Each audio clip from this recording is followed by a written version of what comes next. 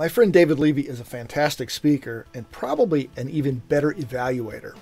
Well, he shared this tip with me the other day. I don't know if he authored it, but I love this idea for when you're stuck looking for story ideas. He talks about your first and last, best and worst. What is a first experience you had that was memorable to you, and what kind of lesson did you take from it? Uh, your first job interview, maybe your last job interview.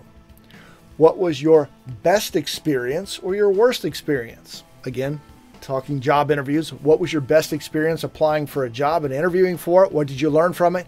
What was your worst experience? What did you learn from that that other audiences would benefit from? If you're stuck for story ideas, think about this a first experience, last experience, best and worst.